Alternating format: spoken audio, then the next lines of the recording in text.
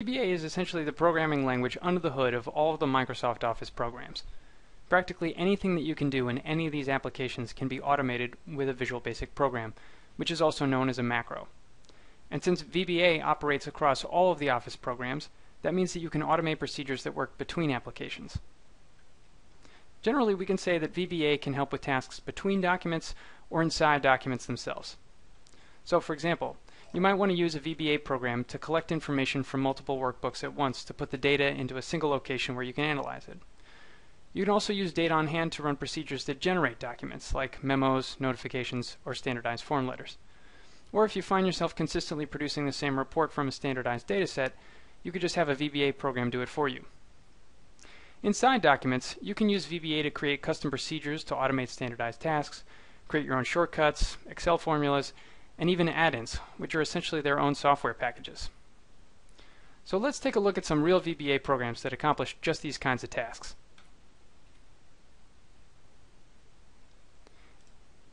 Here's an example of a harvester program that aggregates data from several different workbooks.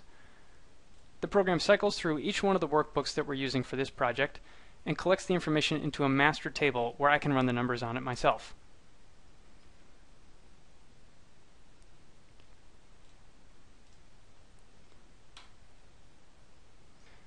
VBA is especially useful for generating standardized kinds of documents, including highly customizable mass mailings.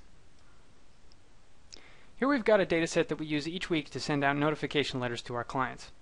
Instead of doing it manually or using Word's mail merge function, we just use a VBA program to generate the letters. This saves a lot of time, and because it's been automated, we never worry about mistakes.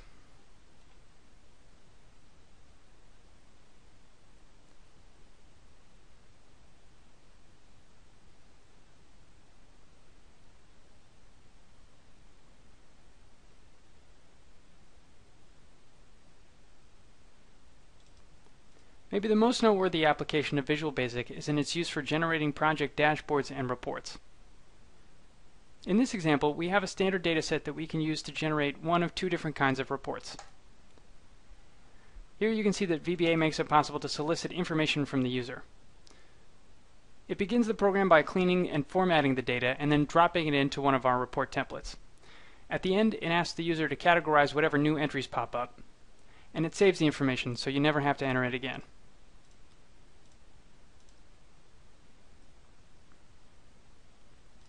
So those are just some examples of what VBA can do between workbooks. Let's talk about what it can do inside workbooks. This is where you can get really fancy. Since VBA is the language under the hood of Microsoft Office programs, you can use it for all kinds of custom tasks. And here we're talking mostly about what you can do in Excel.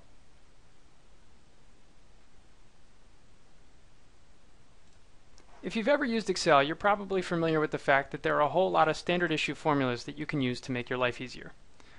But if you've got especially complicated needs, or if you just want to save yourself some time, VBA lets you write your own custom formulas. Here we have one called Comuna Custom Lookup, which we use to figure out next steps with any given one of our study participants.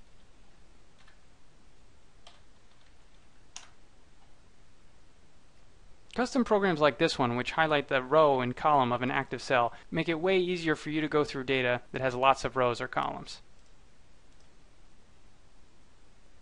Finally, you can use VBA to develop custom add-ins, which are like your own unique software packages. This one in the Custom Table Processing tab takes each one of the tables in this workbook, sorts it, and then prints each one into a document so that we can review the results of our survey.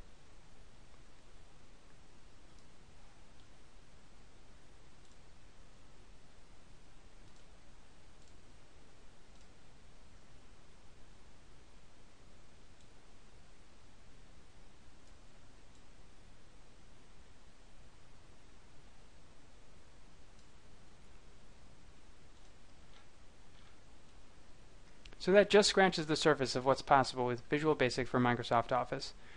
If you want to learn Visual Basic, I recommend the YouTube videos of a group called Wise Owl Tutorials.